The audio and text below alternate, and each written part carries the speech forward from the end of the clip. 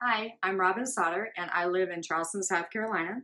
I held an online certification for about a year before deciding to take the WITS personal training course at a local college in 2011.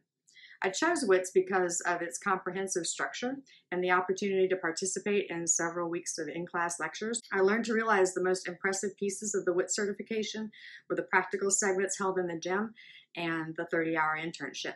That is absolutely where you put your knowledge to use and really learn how to be a great trainer. This type of certification isn't found anywhere else and has proven to be absolutely invaluable to me. Once certified, I completed my internship at the Summerville YMCA and I was hired immediately. The opportunities offered through WITS courses are endless. I have utilized my continuing education in every aspect of my fitness career, and I have more clients than I can handle. I truly believe that the sky is the limit for me, and I have WITS to thank for that.